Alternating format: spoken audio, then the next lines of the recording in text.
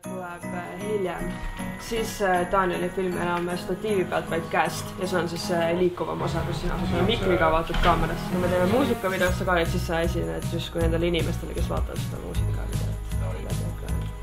Täna me oleme siis tulnud siia Neeme tänavale, kus me siis ähm, filmime äh, minu uut äh, singli, minu uue singli muusikavideot. Ja see on selles mõttes niisugune eriline singel, et ähm, tegemist on jõululauluga.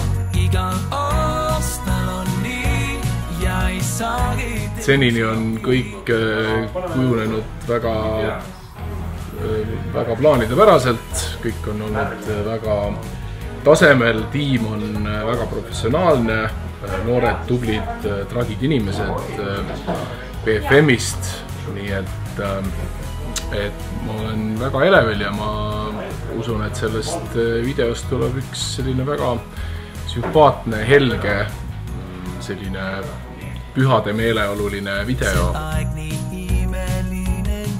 Mina lavastan, aga ma tegelikult äh, assisteerin äh, kõiki osakondi, nagu äh, pildilt näha on. meie eesmärk on äh, Winter äh, Wonderland, aga justkui äh, toas.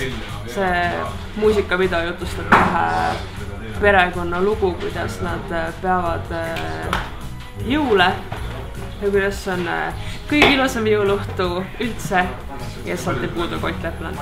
kõigepealt hommikul me käisime enne võtteid ostmas äh, jõulutulesid, aga siis selgus, et me ostsime sinised ja sinistega ei olnud mitte midagi ette võtta, nii et me pidime viimasel hetkel, kui juba Ott seisis nende tulede ees, tegema vangerduse ja terve setupi ümber tõstma, mis oli selline ootamatu aga on olnud ka muid äh, jooksvaid äh, üllatusi, et äh, härmatas aknal, tahtis hakata sulama ja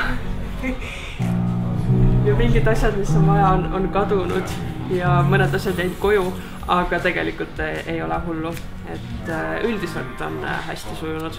on siin Oti jõuluime setil, loodan, et tuleb sihuke väike varajane Christmas miracle meil. lubati natukene lund ka, eks neist võiks ju tulla, võib-olla jõulutaat teeb meile või ilmataat teeb meile väike sellise ime. kaamera on ikkagi korralik Redi kino kaamera, korralikud eh, objektiivid. tegijad on meil professionaalid ainult. nii et eh, jah, selles mõttes tuleb eh, kindlasti hea, hea tulemus